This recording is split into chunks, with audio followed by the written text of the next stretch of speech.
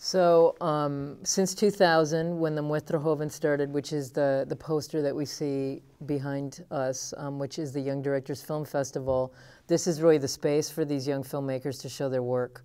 And it's directors, it's producers, it's animators, it's, all, it's different genres. Um, ¿Y qué, qué, qué dijiste al final? Al final, final. El, que están haciendo, un, bueno, están haciendo un trabajo interesante. En, esto, en estos momentos, nuestro cine, nuestro cine nacional es un, un cine interesante, atractivo, pero estos realizadores han venido a enriquecer esta hora, este, este, uh -huh. este movimiento ha venido a enriquecer la cinematografía nuestra. Okay. And so, you know, Cuban cinema is renowned. I mean, it's, it's very famous and you know, what's interesting about this work is that these are young independent filmmakers. These aren't the ones that have been known for decades and written about, um, but they're really contributing. They're making a very important contribution to Cuban cinema. And what kind of stories are they telling? Las historias que abordan.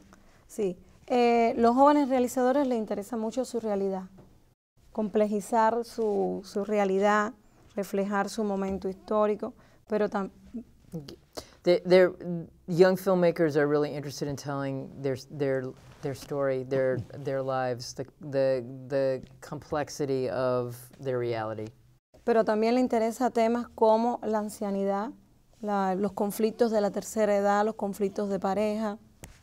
Also, they're interested in talking about, um, you know, older people, retired people, um, conflicts within relationships. Se acercan también a temas rurales, rurales, temas de, de la comunidad. Um, rural issues, um, communi community issues. Utilizan más el género documental más que la ficción. They use more, they're, they're making more documentaries than fictions. Y más, por supuesto, los cortos. Creo que eso también es un fenómeno común en el mundo entero. Es un fenómeno internacional. And they're making, they're not making feature films, they're making shorts. And this is really, you know, not just something that's going on in Cuba, this is really kind of a worldwide phenomenon. En cuanto a las tendencias, las tendencias artísticas son, dif son diferentes, son diversas, eh, artísticamente, estéticamente hablando, son diversas. Son, experimentan mucho, se van fuera de lo convencional, de lo tradicional, rompen las estructuras. There's a lot of diversity within the aesthetics of these films. They break with you know, convention. They, you know, they're experimental. Some are, some aren't. Some are classical documentary. But there's lots of different um, ways to express and, and different aesthetics that they use.